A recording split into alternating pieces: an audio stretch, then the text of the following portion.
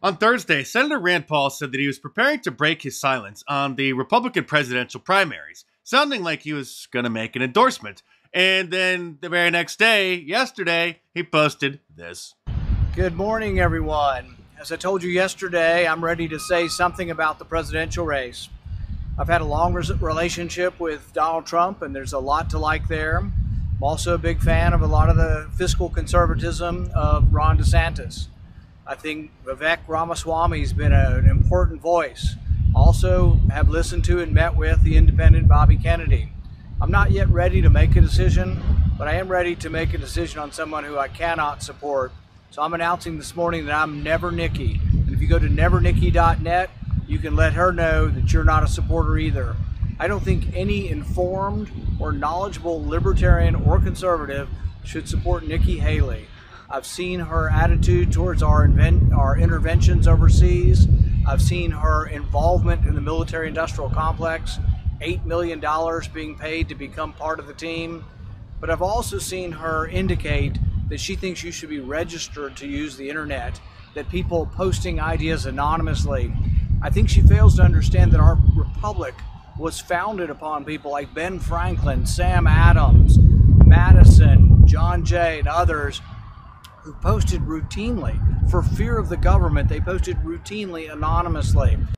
And I think her failure to really understand that or to think that you should register through the government somehow for the internet is something that should disqualify her in the minds of all libertarian libertarian leaning conservatives. So I'm announcing today I'm Never Nikki. You can go to nevernikki.net and sign up and show her that you're Never Nikki also.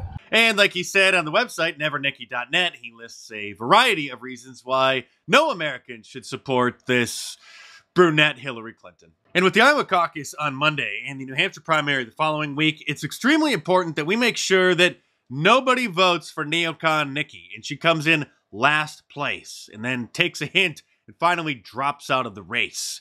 And here's an interesting new campaign ad showing just a small sample of her hypocrisy.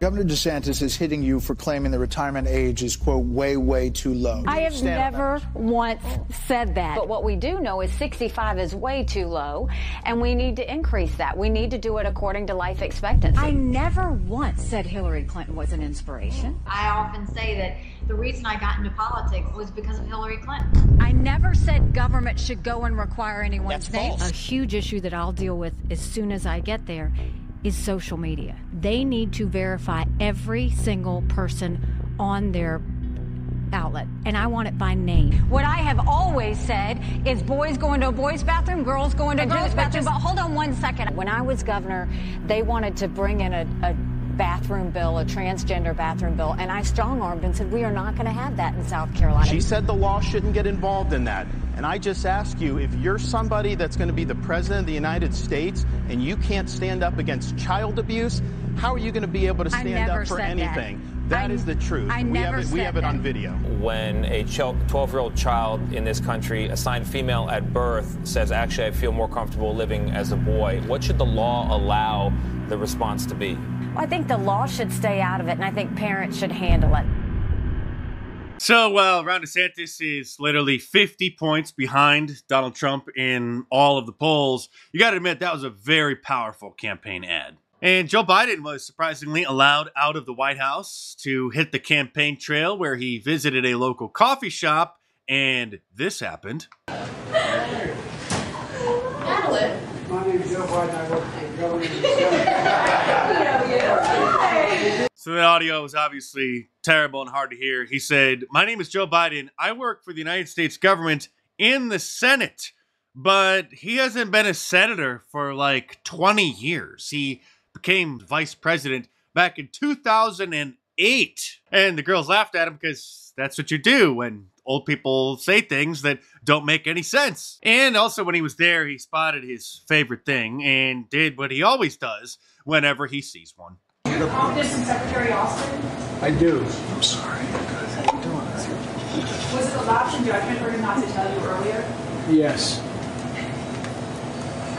And if that clip wasn't creepy enough, the meme maker Silent Meme Majority on Twitter did this modification. I'm sorry. Have a seat.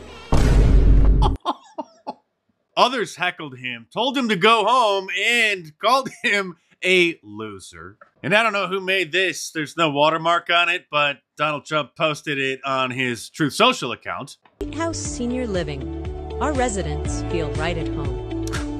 Our vibrant facility offers delightful activities and outings, round the clock professional care, and exquisite house-made meals. Well, I've been eating everything that's put in front of me. I've been eating all, all Italian foods, basically. And ice cream. And ice cream, chocolate chip ice cream.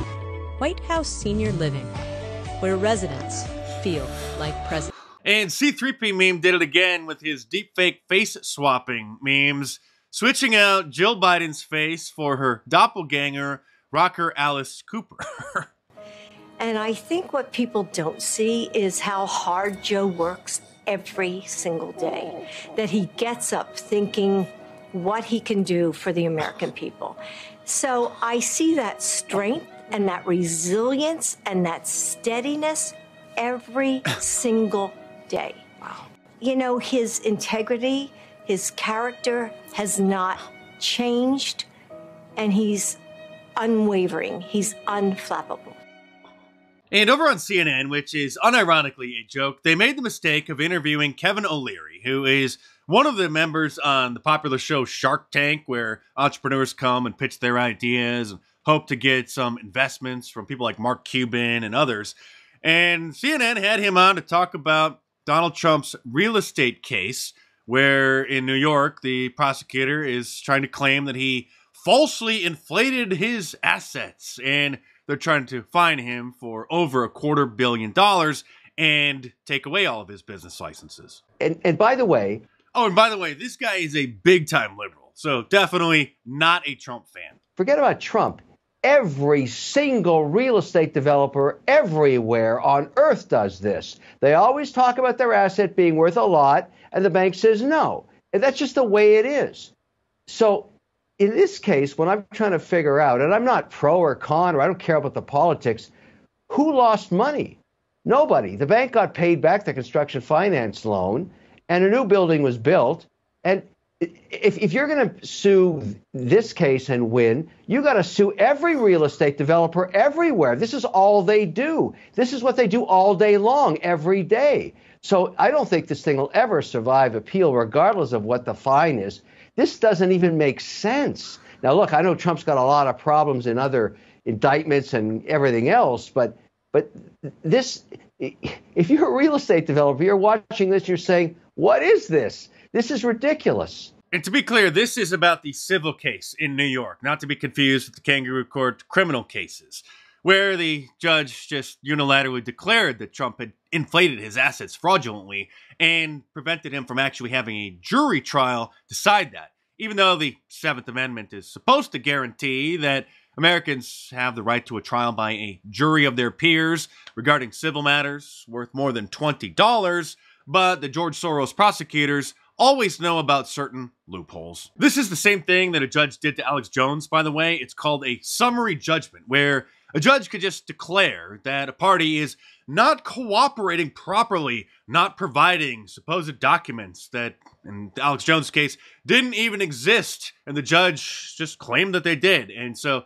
they said that he wasn't cooperating with discovery and just unilaterally declared him guilty. Because, of course, they couldn't allow risking a jury to actually decide the case because then the jury would decide in favor of the defendants. It's called lawfare or legal lawfare, and unfortunately, there's not much that anybody can do about it. And I detail it in my new book, The War on Conservatives, which you should order in paperback from Amazon.com or download the ebook from any of the major ebook stores. If you like watching my videos, like I say, you're going to really enjoy reading the book. So much more in there I can't get into and a lot more in depth and detailed. So head on over to Amazon.com and order the paperback or click the link in the description below and check it out.